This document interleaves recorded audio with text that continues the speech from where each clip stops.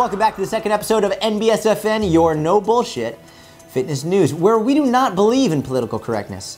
Just facts, coffee, and deadlifts. Now, in this episode, we're talking about spot reduction and a new trend among the fitness Instagram influencers where they love to point at their arms and their love handles and their heads and their shoulders and their knees, even their toes, mind you, saying that you can choose where you burn fat. We're also going to be talking about fasted cardio and whether or not your body is primed and optimized to burn fat if you don't eat before doing cardio. We're also gonna talk about pre and post workout nutrition, how to optimize your meals to make sure you get the best strength and muscle gain benefits. And finally, we're gonna finish off with a two minute drill rapid fire Q&A for my Instagram. If you don't follow me, you can do that here. In the meantime, Make sure you like the video, give it a thumbs up, follow if you don't already, and first a quick word from our sponsors. Just kidding, we don't have any sponsors. Let's dive right into it. Now on the topic of spot reduction, a lot of fitness Instagrammers have been posting images where they point to their lower arm fat or they point to their inner thighs or their love handles or any number of places on their body and make you think through this misleading imagery that you can choose where you burn fat. And this is all related to the idea or this myth of spot reduction. Now, NBSFN is very excited for you to meet our chief gym correspondent, Johnny Bag of Donuts. Johnny Bag of D for short. And Johnny, what do you think about spot reduction? What does the science behind spot reduction really say? All right, let's go. Last sip. Johnny. Last sip.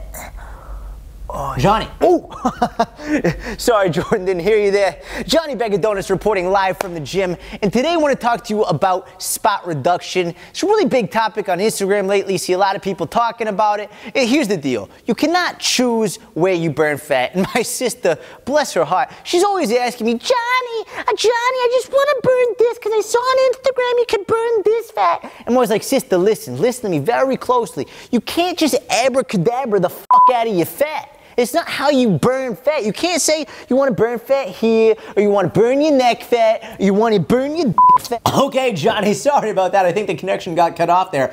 What Johnny was trying to say is that spot reduction is just not supported in the literature. It's not worth your time to try and target your lower arm fat, your love handles, your thunder thighs, your neck fat, your cheek fat, any fat. You can't choose where you lose fat.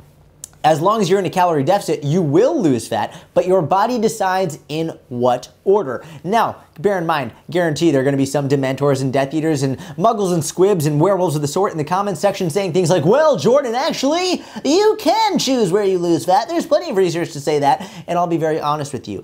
There is some research that shows you can choose where you lose body fat, but the whole point of science-based training and nutrition isn't just to look at what's possible, it's also to look at what's practical.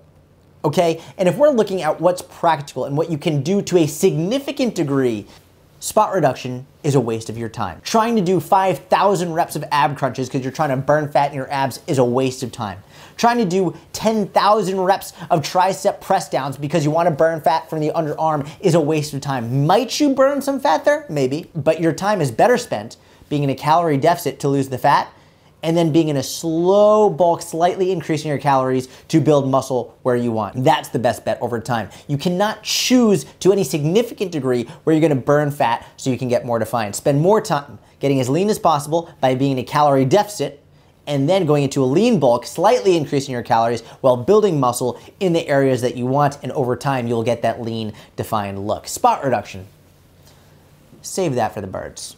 Now, if you really want to piss somebody off, here's what you got to do. You find an old school bodybuilder, an old school bodybuilder who wears fasted cardio as a prideful patch on their sleeve. They tell everybody they do fasted cardio. They wake up every day, I'm doing fasted cardio, haven't eaten a thing yet. You tell that person that fasted cardio doesn't have any extra benefit than unfasted cardio. You just do it right next to them eating your oatmeal. Doesn't matter. Same thing. I found this out because I posted on my Instagram the other day that fasted cardio holds no extra benefit than unfasted cardio. And boy, was I blasted by the old school cardio people. And here's the thing.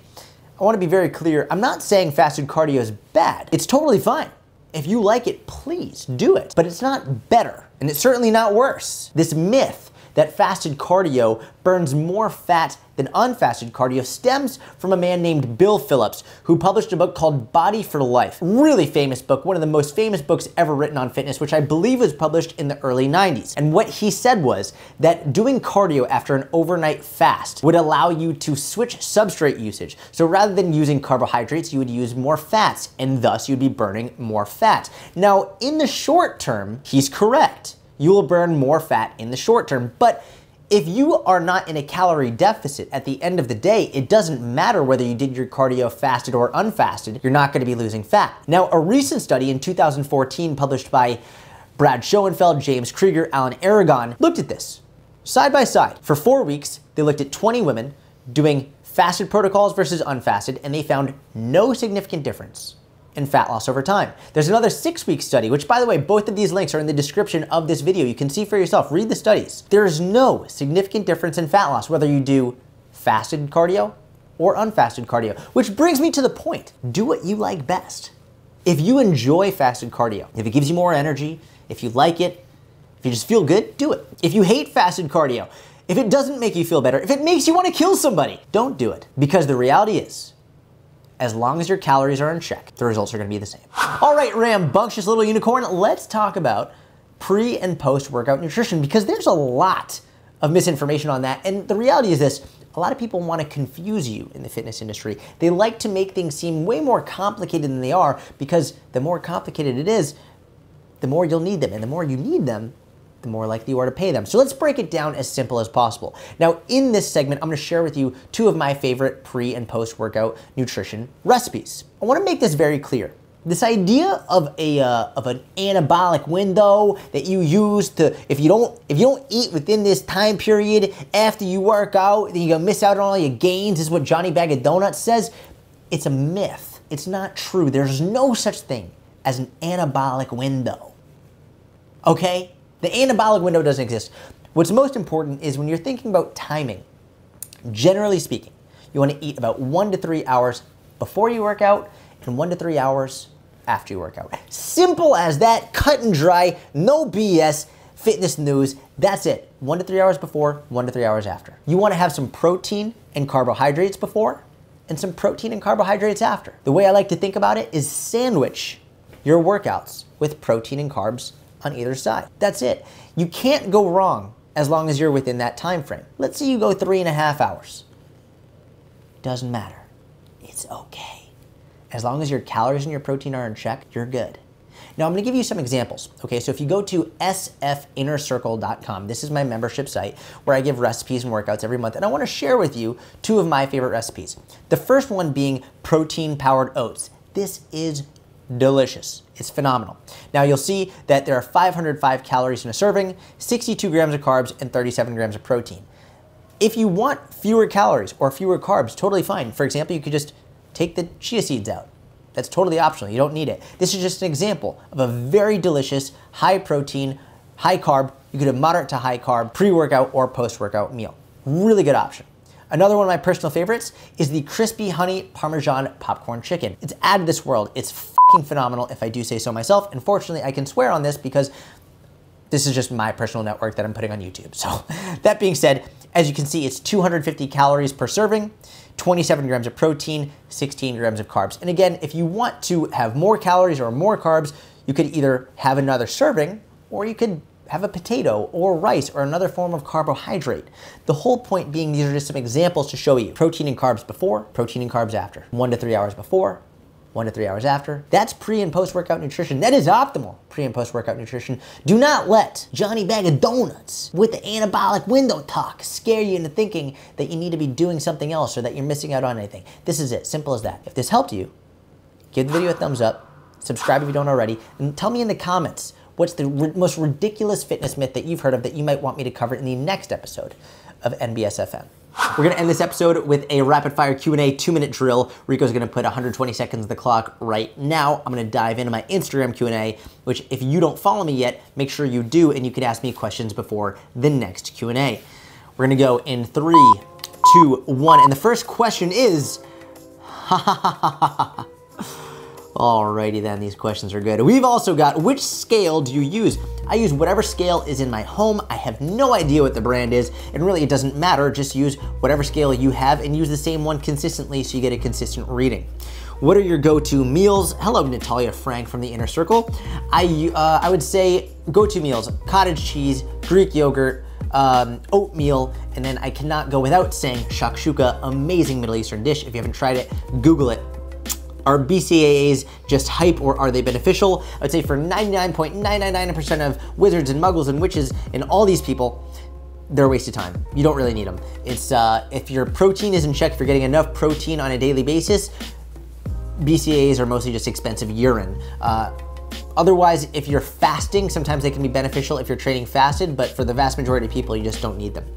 Reese's or Snickers, I would say Snickers 100% of the time. What's your favorite vegetable? Um, I was gonna, let's see, uh, sweet potato, if that's actually a vegetable. Is that a vegetable? I think it is. We're gonna go sweet potato. Although it is a starchy vegetable if it is a vegetable. Uh, any tips on dealing with soreness? If you're strength training, get used to it. Let's see, do you need a Facebook to join the inner circle? I'm only on Instagram. Uh, no, you do not need a Facebook, but it is beneficial just because even though the you don't need it, the group is absolutely amazing. What's your opinion on cellulite? I definitely need more time for this one, but I'll tell you this. I cannot tell you not to feel insecure about something. That would be very pretentious of me. But what I will say is this. 97% of women have it. A lot of men have it too. And I can tell you that most people just don't give a shit, okay? It doesn't mean that you shouldn't feel bad about it. If you feel insecure, then that's up to you. But I will say this. If you're hanging out with people who do give a shit, you should probably stop hanging out with those people because they're not worth your time. So with three seconds left, I love you, thank you, I appreciate you. Subscribe if you don't already. Give the video a thumbs up if you liked it. If you didn't, feel free to give it a thumbs down. Let me know in the comments. Thank you so much. See you next week.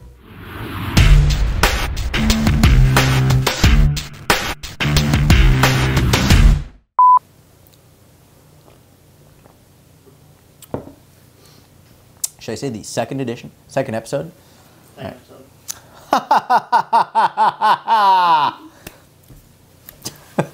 Fitness news. We were fitness news where we are not politically correct at all. We say fuck, but we bleep it out. Nope, dumb. that's dumb. Thank you. Let's get to the point. Get to the point.